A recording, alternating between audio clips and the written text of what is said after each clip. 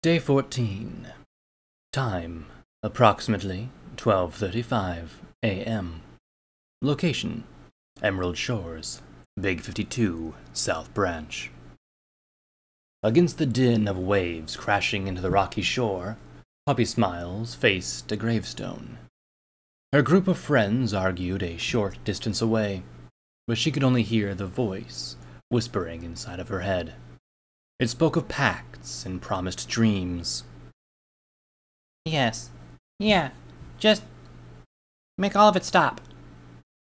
Henrietta barely heard Puppy talking behind her, but she felt a sudden chill in the air, like a cold night's breeze, bringing with it the creepy sensation that she had just woken up from a bad dream, but couldn't remember what it was about. Suddenly, what the fool had said seemed a lot more important. Every pony turned towards Puppy Smiles. Was she talking with herself? Make what stop? How? As Henry approached, she could see Puppy's eyes were closed and her head was hung low. The foal's mane was rapidly changing color, turning a dark blue from its original blonde. Puppy, are you okay? What? I. I think you have something in your mane. When Puppy spoke, it was with a different voice, like the sound made by a chorus of ponies calling from the bottom of a cave. I salute you, my humble minions. I'm finally here among you. Bow at the era of a new dawn. Henry cocked her head and raised an eyebrow. The what of a new what? Puppy, what's going on? Sidekick's eyes turned from red to blue, and it took up position on Puppy's flanks, standing like a sentry. The creepy new puppy continued. I'm not Puppy Smiles. I'm Creepy Voice, a child of the stars, and your new ruler. Under my guidance, Equestria will rise anew. Scold shook his head and looked over at Molten Gold. The stars, like in ancient zebra folklore. Those stars? The scribe's question was interrupted by Henrietta's laughter. Creepy voice? What kind of name for a villain is that? I mean, really? Creepy voice? Did you come up with that all by yourself? Puppy stepped back, with an embarrassed expression, uh, rapidly shifted to anger. It. It is a name that you'll learn to respect, fools. Now bow down before me, and return to your towns. Announce my advent. Trigger Happy snorted, stepping in front of the other ponies. Or else? The blue flames that burned in Creepy's eyes expanded until they completely filled her helmet. A blazing cobalt crown appeared above her head, and more flames spouted from her back, forming a pair of ghostly wings. Or else, I'll devour your souls. Happy hesitated, looking at the filly while Lonesome Pony muttered to Scold. Can she do that? Can she eat souls? The scribe looked back at the DJ and shrugged. How am I supposed to know? If she really is connected with the zebra dark magic, then it's possible. Only, I don't think she's strong enough for that just yet. The Pegasus raised an eyebrow. She isn't. No, she's manifesting. Just look at how the fire of hers flickers. I think I know how to stop this story before it begins. The scribe spoke in a very low voice, while Happy kept the creature occupied. Molten Gold and Lonesome Pony listened to him with all their attention. I think that I can sever the bond that ties this entity to Puppy's soul. Without a soul to feed on, creepy voice, uh, that creature won't be able to manifest itself and will be banished. So, are you waiting for an invitation?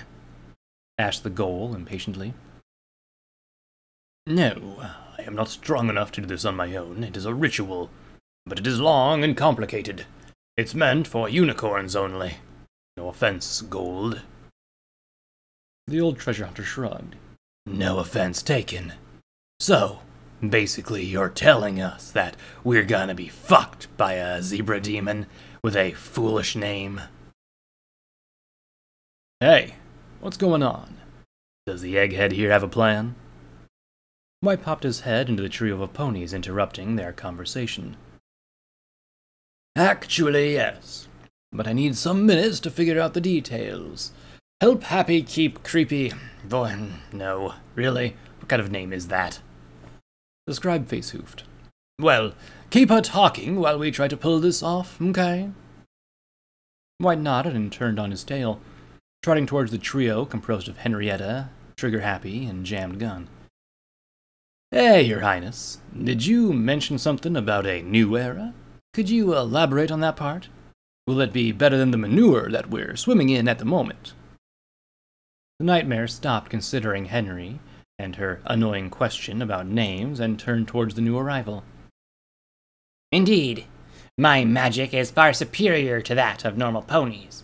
With it, I can heal this poisoned land and bring about a new reign of prosperity.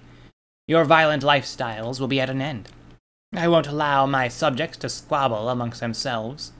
Instead, you will build immense temples in my honor.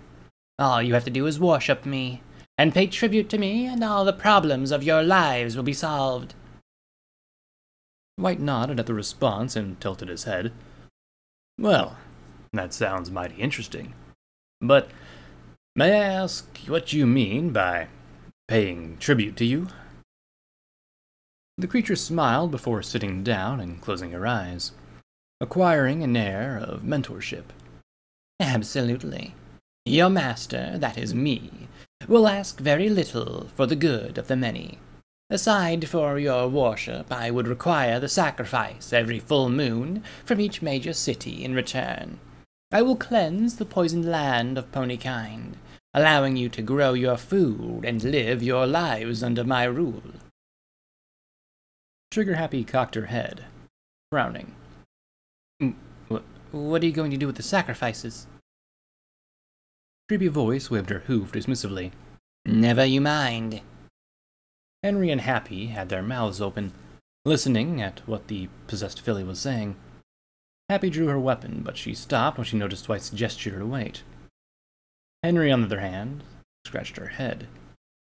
Yeah, but Will you give us back puppy? The nightmare blinked, her eyes for a moment, surprised. What? She doesn't want to come back. She is sleeping and dreaming, in a place where no pony can hurt her. We made a pact. At that, Trigger Hippie Happy snapped. You did a what? Listen, I know my friend Puppy Smiles and how easy she is to trick. Whatever pact you made is not valid. You can't just, just talk a fool into something and pretend it's legitimate. Now, let her go. The monster laughed with a silvery, tickling voice. You're funny. Why should I yield a perfect soul to possess? Her obsession trapped her in this plane, and as long as she sleeps, she'll never realize the truth. So no, I'm not letting the fool out of her dream. But another hoof, I'm offering you all the privilege of being my heralds, so you can announce my coming to all of Equestria. So, long story short, Henry tilted her head. Your nightmare moon? Well, no. I mean, yes. I mean, Nightmare Moon was more ancient and powerful than me. For a moment, the creature hesitated. She seemed to recover almost immediately. But I am more than strong enough to shut your stupid beak. Henrietta deadpanned. So, basically, you're a newbie? A nightmare noob? Trigger Happy burst into laughter, rolling on the grass as she fought for breath. Mr. White face hoofed while the other three ponies stopped talking for a moment trying to understand what was going on.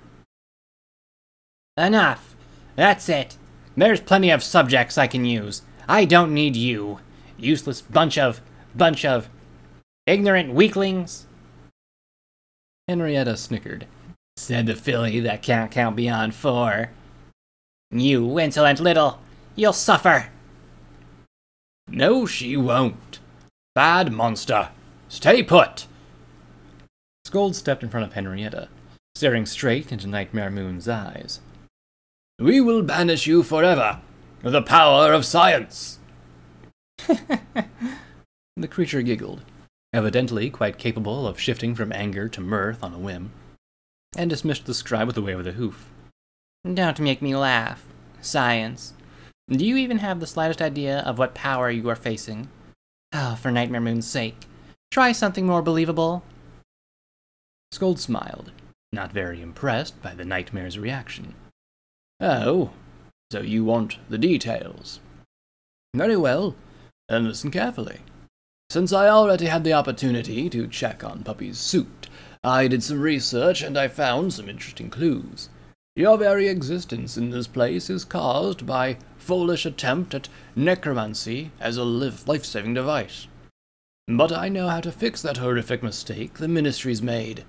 The talisman itself has proved to be very impervious, but the spell inside is more than unstable. The way your flames wax and wane make that abundantly clear. Now, I have some unicorns here, and even if they don't know a thing about dispelling magic, I can tap into their power for as long as we need. So, guess who's getting a dispelling today?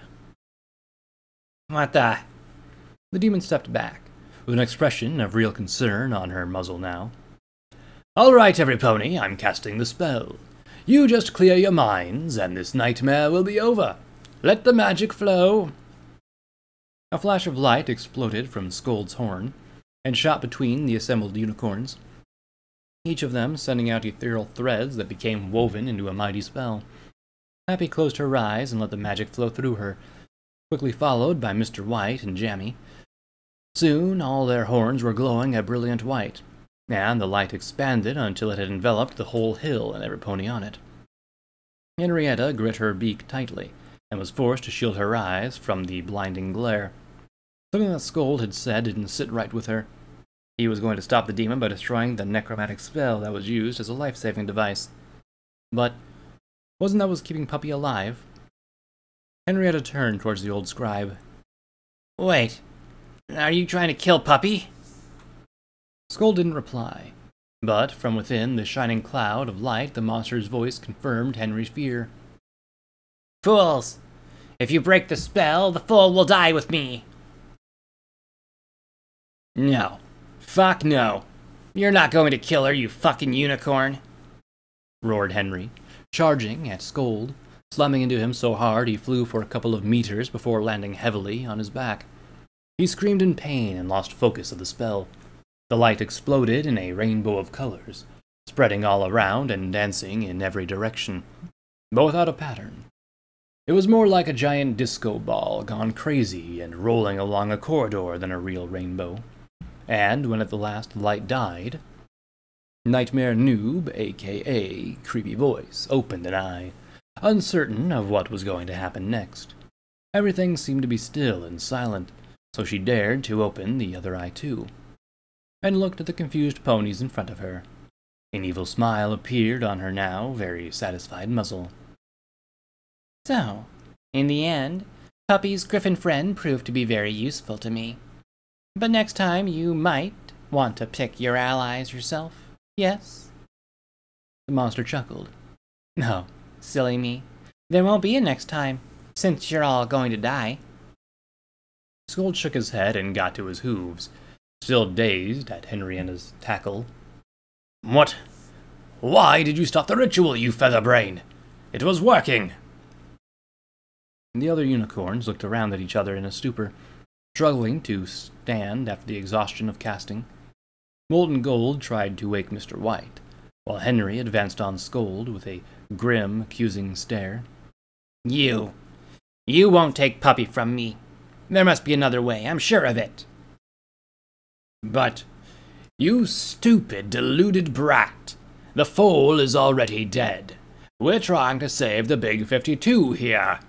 Come down from your, your wonderful dreaming place and get real. Scold was practically foaming at the mouth.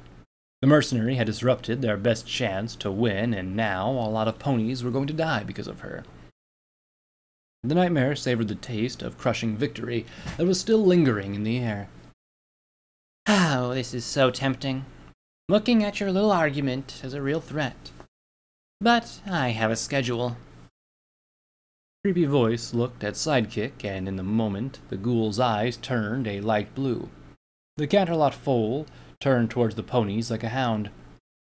Nightmare Noob smiled. Let the games begin.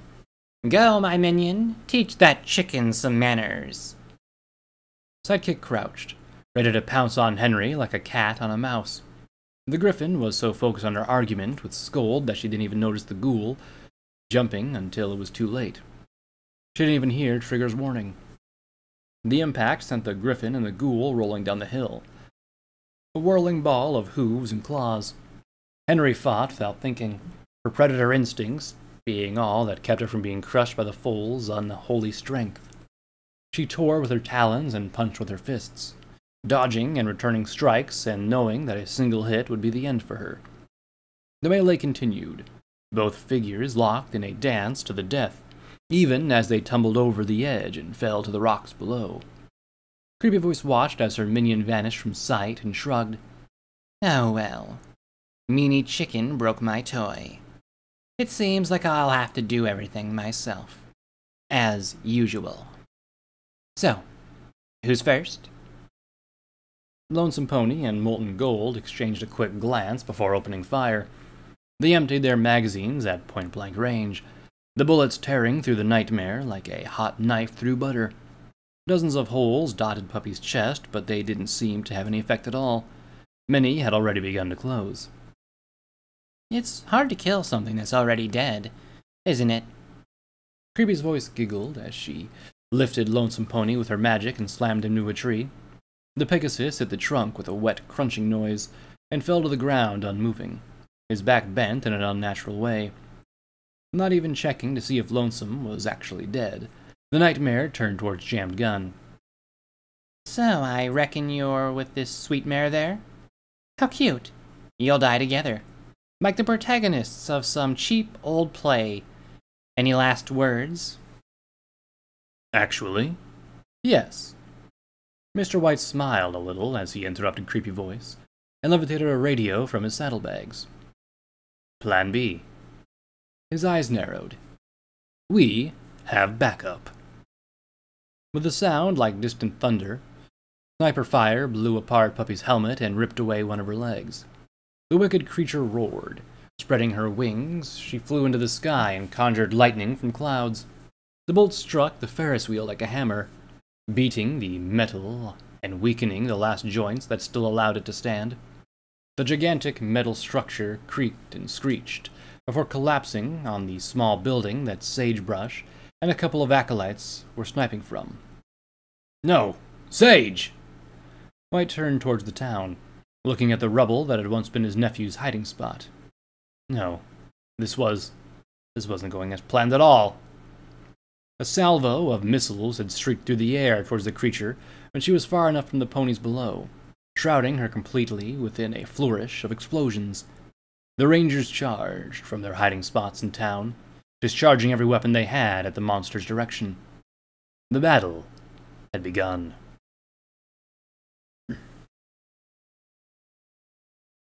Henry groaned.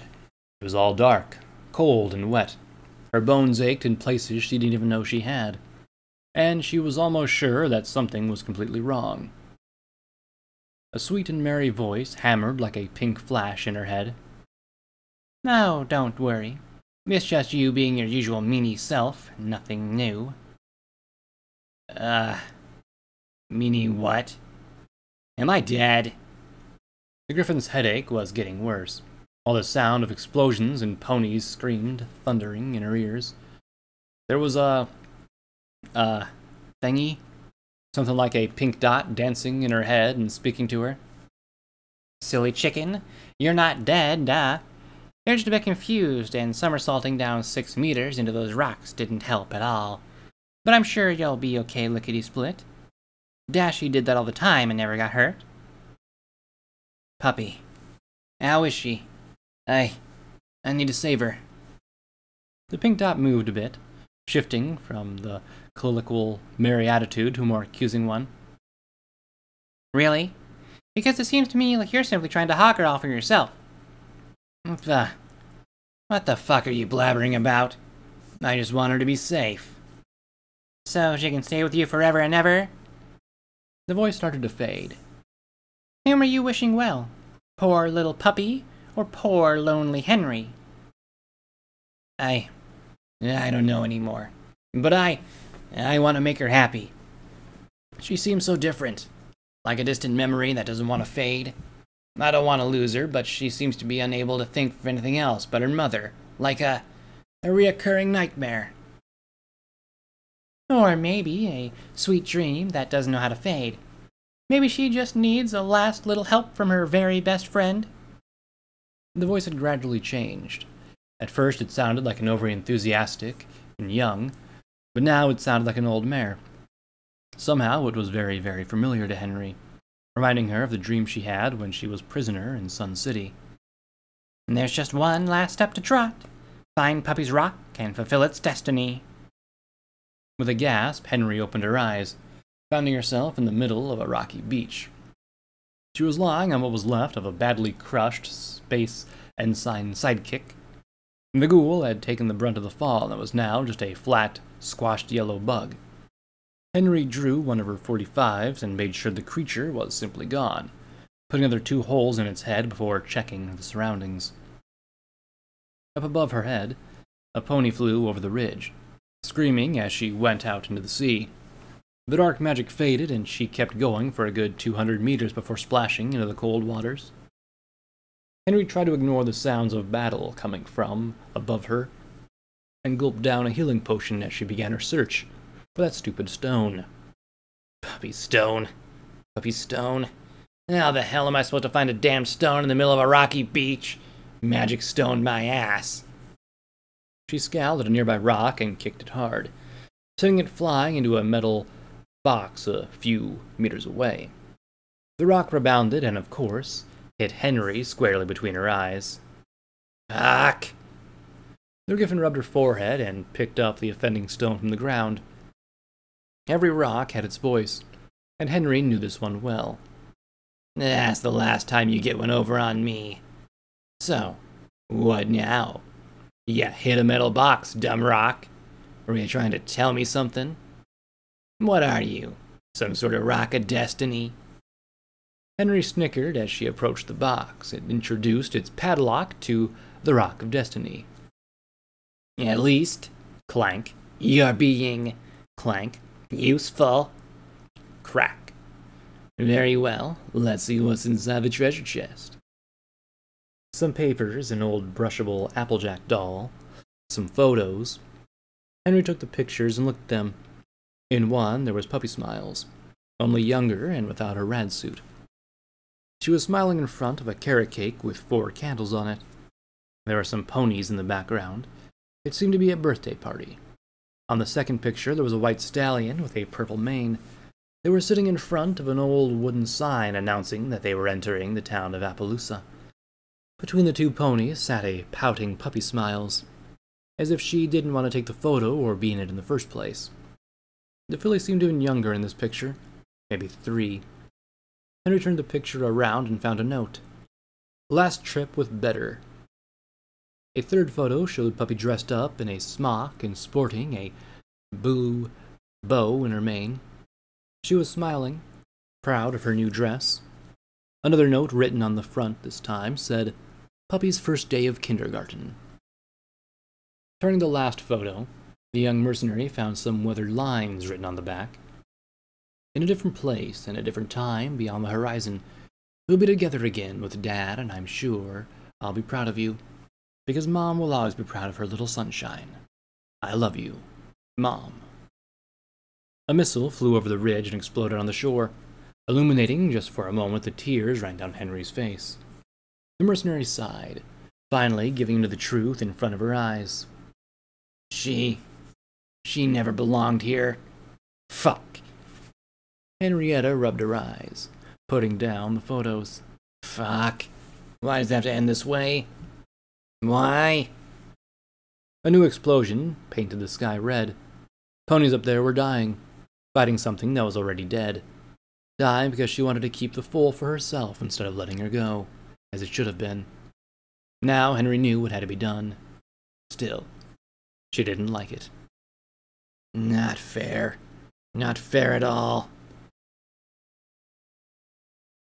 Paladin Goss's eyes widened as the missile he just fired was thrown back at him. Goss! No! Cold Shower could only watch in horror as the explosion took away one of her oldest friends. She turned towards the nightmare, her eyes full of anger and pain. Stupid bitch! Why won't you die? The barrels of both miniguns mounted on her power armor spun up, and she fired until her guns were empty. But the bullets bounced harmlessly off the nightmare's shield and were completely ignored as the creature launched a second acolyte into the ocean. Creepy's voice had already killed two ranger and thrown several other attackers into the sea. But with all these ponies around, she was getting confused. How was she supposed to fight all of them at once? Really, these stupid Equians didn't even know the rules of a proper duel. She was growing bored of their little game. Yes, killing ponies could be fun, but it did seem quite pointless. Especially when she had more important things to do, like take over the world. Who was supposed to be the leader of this bunch of idiots? Oh, right, that old scribe. Creepy voice smiled, and with her evil in her mind. So, where's that guy with the cape?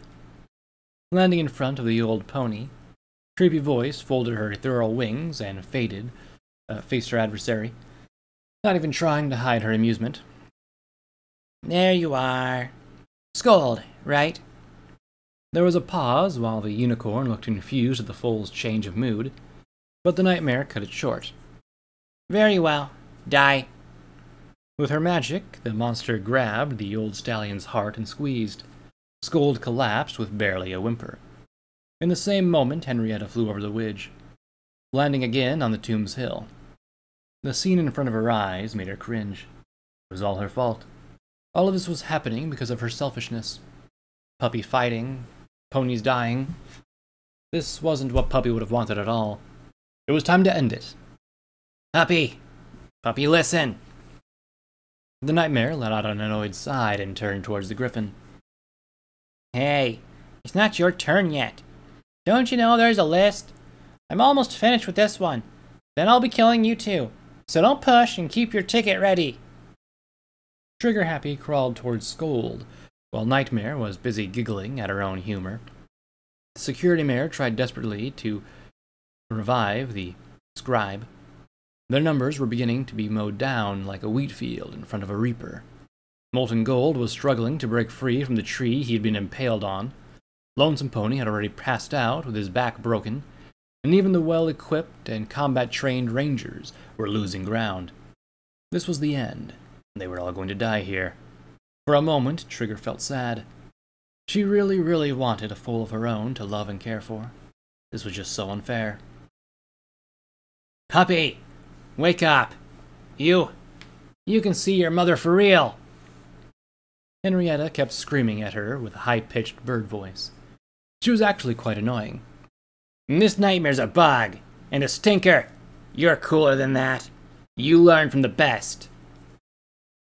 Creepy Pup snorted. Aren't you even able to wait your turn to die? A halo of dark magic surrounded the large chunk of road and hurled it towards Henry, but the griffin was agile and dodged easily.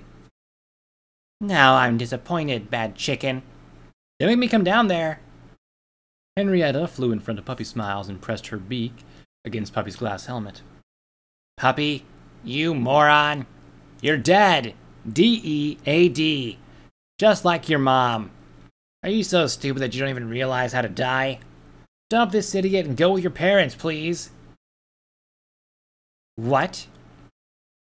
The nightmare blinked her eyes, startling by the griffin's sudden assault. What was she saying? Was she trying to speak with Puppy? Oh no. No, no, no, no, no, no, no, no, no. Shut up. She can't hear you, fool.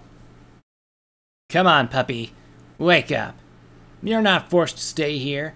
I. I don't want you to stay here with me. You have to go. I'll be fine, just. Henrietta was trapped in a blue corona, and her body started to twist, producing disturbing snapping sounds. Creepy voice looked straight into the mercenary's eyes, with a stare full of anger and hate. You die now. Henrietta smiled weakly, unable to resist the powerful magic crushing her body.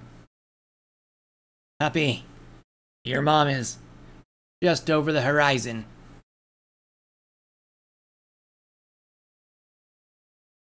Puppy Smiles sat in front of a pond, looking at the fishes that swam within. Everything around her was still and calm. A blanket of snow covered the ground, and the clear sky showed hundreds of stars. She wasn't happy, but somehow she wasn't sad either. It was like being dazed.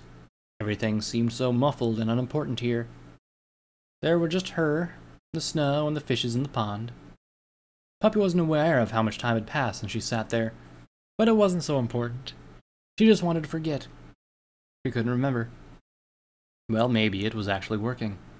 At least until a weird goldfish poked its head out of the water. Puppy, you moron, you're dead. What? The filly tilted her head, then checked her hooves and tail. I'm not dead, stupid fish. A second fish poked its head out of the pond. This one spoke in a feminine voice. Come on, puppy. Wake up. You're not forced to stay here. Henry? Why are you a fish now? Puppy giggled. Silly Henry. Fishes don't talk. Frost began to creep over the pond, but a third goldfish jumped out of the water, talking again with Henry's voice. Mom is just over the horizon. Mom? Where did Dad go? He's somewhere beyond the rainbow, puppy. Will. will he come back? Mom didn't reply, but Puppy really, really wanted to see Dad again. Can. can we go to where he is? Yes, Puppy. One day. Maybe not tomorrow, or the day after. In a different place, in a different time. We'll all be together, okay? Just just over the horizon. Pinky swear? Cross my heart and hope to fly. Stick a cupcake in my eye. Puppy looked up in the sky and finally saw him. Really, really late. And I know I actually don't have all the time in the universe, but I hate these kinds of anomalies, and this one has been going for 200 years. I am beginning to lose my cool. There are a lot of better places to be than here. A skeleton wearing a black hood was talking in Puppy's direction, but he seemed to talk more to himself than the foal. A little filly smiled. That skelly pony was funny. He was talking like those grumpy ponies at the veteran retirement house. Hi, I'm Puppy Smiles. Have you seen my mom? Ah, please, not that litany again. I'm going to resign, or strike, or strike and then resign. The skeleton pony was interrupted by the giggling filly. Skelly Pony's funny. Stopping his monologue, the Grim Reaper finally noticed the foal was looking at him. You can see me. Is this some sort of prank? Because if this is a prank, then I'm going to give up for real this time. Puppy tilted her head. A prank? I hope not. Last time I made a prank, I was spanked ultra hard. The pony paused for a long moment, before falling down on his haunches with a ghostly sigh. At last. Puppy trotted near the weird looking stallion and sniffed his clothes. Ah, who are you? Pretty skelly pony? Me? I'm the Grim Reaper. Death. The inevitable end. The Black Stallion. From the fool's blank stare, the skeleton realized that he was just wasting good words. But my colleagues call me Mort. Long story short, I am the guy that shows the deceased how to reach the afterlife. Puppy tilted her head, confused. So, have you seen my mom or not? The skeleton shook his head. You're a lost cause. A silvery ticket, covered in shining pink letters, appeared in front of Mort. and gently fell like an autumn leaf between Puppy's hooves. Here, take this ticket. It's worth a ride to the other side. Remember, not every pony gets the silver ticket. It's a really special one that will bring you there, lickety Be grateful. Puppy's eyes grew bigger. I. I'm going to see Mom? For real? No more pink arrows, or stupid bully bots, or crawling houses, just. Mom? The Reaper nodded. Exactly. Mort paused for a moment before continuing. It must have been hard. This is my personal way of saying I'm sorry for not being able to help you earlier. Puppy stopped listening as soon as the pretty skelly pony had said what she wanted to hear. Yeah! The foal hugged the skeleton for a moment, before looking at the pond, which had now completely frozen over. All right, Henry. Just let me say bye to my friends. Puppy turned on herself, and the whole scene with the pond and the snow exploded into a thousand shards, dissipating into nothingness and revealing the battlefield around the graveyard. Just over the horizon. The griffin's eyes grew clouded as she slipped into unconsciousness. As soon as Henry had said those last words, the nightmare's eyes flared pink, and for a moment her expression completely changed. Bye bye, Henry. A pretty skelly pony is sending me to where Mom is, and this time with a super shiny ticket. The pink in Puppy's eyes faded away one last time, and all the lights in her HUD turned red, signaling an endless sequence of system errors. Warning! Subject 001, puppy smiles cannot be located. Warning, power level is critically low. Warning, self-repair system not functioning. Warning, hardware not found. Warning, general shutdown in 5, 4, 3. Thank you for using Ministry of Peace technology. Have a nice day, and please, be safe. With those words, the whole HUD on the helmet disappeared, leaving only the shocked face of creepy pup, staring at the now empty glass. The monster stepped back in horror, releasing her magical grasp on the griffin, who fell to the ground and rolled a few meters downhill. What have you done? Fool! I'll kill all of you immediately, puny insects! The monster stretched her wings, ready to release a new wave of magic, but something was wrong with her. The suit had begun to deflate like an old leathery ball. What? What's going on? I'm melting? No. No! Small eruptions of pink gas leaked out from a hole in the fabric, while the monster fought to keep her grasp over what was now an empty husk. You. You have not won. I'll be back. Ponies make the same mistakes all the time. I'll be back. Nightmare Pup's face melted into a pink eruption, filling the helmet with a curtain of gas. For a moment, the suit inflated like a party balloon as whatever force that kept the pink ooze in a fluid form stopped working, and the pink agent reverted back to its gaseous state. As the scream from the nightmare reached its highest note, the suit's locks failed, and the gas exploded out of the harness, making a sound like a whistle. The ponies that were still capable of walking grabbed the wounded and dragged them away, far from the expanding cloud of pink death that had started to lazily invade the whole hill. Go, go, go! Get away from that stuff! Cold Shower dragged away what was left of Goss, followed by the others. Creepy Voice continued to scream as they fled, a long wail of anger and agony. Half dragged and half pushed, for a moment Henry regained a spark of lucidity. Everything seemed distant, and she felt as if she was floating on a warm place lulled by gentle waves. In a minute, in the middle of that moment of peace, the mercenary heard Puppy's voice. Hey! Hey, Henry? The griffin groaned. That fool wouldn't know the difference between a wrong moment and the worst possible moment, even if she bumped into it with her muzzle.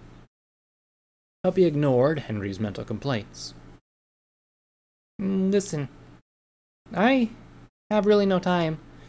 But I really, really, really wanted to say that I'm sorry. But I have to go. I. We are still friends, right? Still friends? That was a weird question.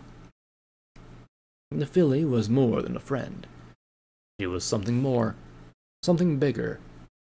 In Henry's life. Really? You. you like me that much? I know. We can be like sisters. Yeah. Henrietta Days. I love, love, love it.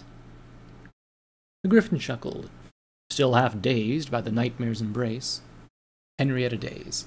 Sure, that was totally going to happen. Adopted by a pony. Okay, sis. Gotta go.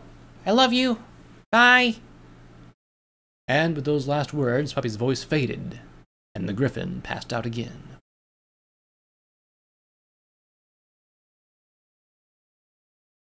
Day 14. Time, approximately 5 p.m. Location, Emerald Shores, Big 52 South Branch.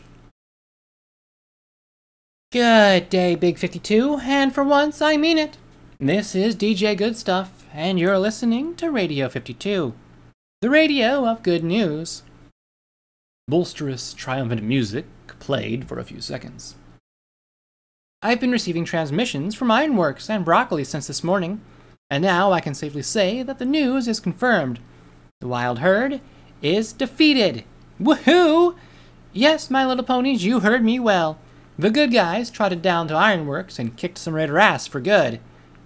The DJ laughed enthusiastically, evidently too happy to keep the shade of professionalism.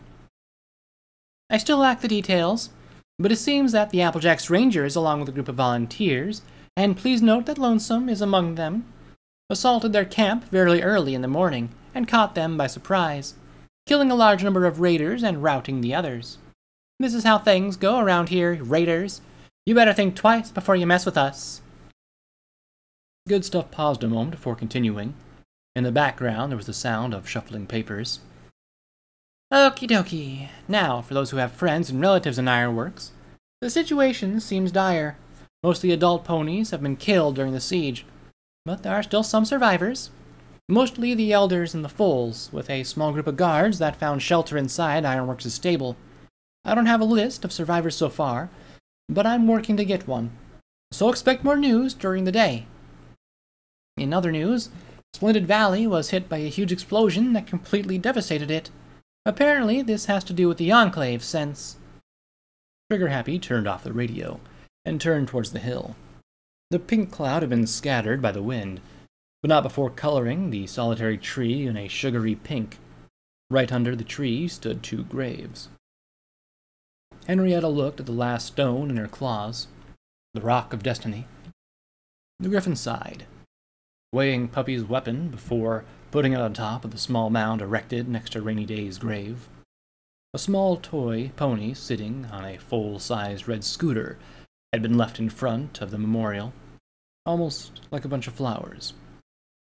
The young mercenary opened her beak, looking for some words to say, but closing it again, without thinking of anything. Mr. White arrived from town, carrying a rusted road sign.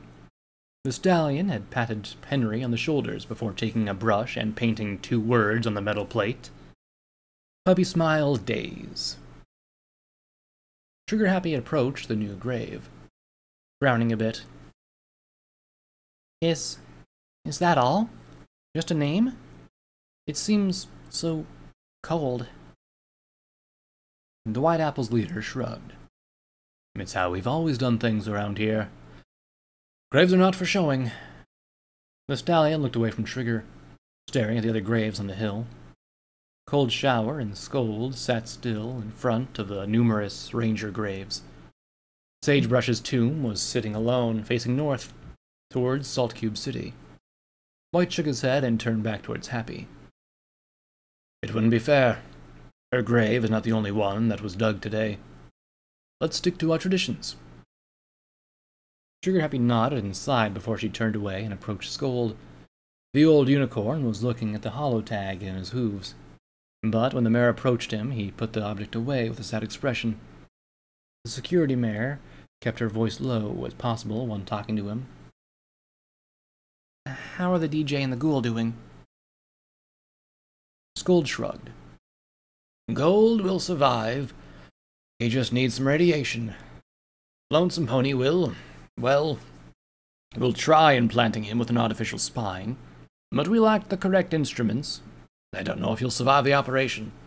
Your cold friend should be with him right now. Maybe you should go and check for yourself? The mayor lowered her eyes. I'm sorry for your losses. I could have taken all the guards from Tunneltown with me, not just me and Jammy. The old scribe smiled weakly. It's not your fault. We had no idea what we were going to face here. Those that gave their lives fighting against that horror will be remembered as heroes. I know it won't bring them back, but maybe this will at least give some meaning to their deaths. As soon as Trigger Happy departed, Scold trotted next to Cold Shower and sat with her in front of Goss's tombstone. The mare was crying in silence. The two ponies were more than comrades, and the loss had been a bad blow for the paladin. He was a good friend. And, you know, even if he acted like an ass. Shower was having a really hard time, trying to hold back her sobs as she spoke. The scribe nodded, wrapping a hoof around the mare's neck. Yes, he really cared about ponies. He knew what was important. His stare wandered across the graves. Four. Two paladins, two acolytes. The rangers probably owed Puppy more than that, but it felt hard to accept it. Still, he didn't want to blame the griffin for that. It simply didn't feel right. We lost many ponies today. Acolyte Sugar Flavor and Scribe Scroll were still so young. I'll have to inform their parents. Cold Shower sighed. Tears were now running down her muzzle. Scold, please, tell me it was worth it. I lost so many friends. I lost the pony that I loved. Tell me. Tell me they didn't waste their lives. We are just ponies, Shower. We do what we can to make this land a better place, day by day. The records say that in the last generation, in the Big 52 settlements, cutie marks involved traditional works like masonry, farming, and arts are slightly growing. Maybe things are getting better, and maybe our foals will see a greener Equestria. The old scribe looked at Puppy's grave. And maybe, one day, there'll be again a place where foals like Puppy will be free to play and make friends. Who knows? Henrietta rubbed her eyes as she left Puppy's grave and trotted towards the beach, looking at the waves. The young mercenary checked that no pony was looking at her, and when she was sure she was alone, she took Silky Tail out from a bag, hugging the doll and hiding her face in the pink plushie. Don't worry, sis. Tomorrow will be a better day.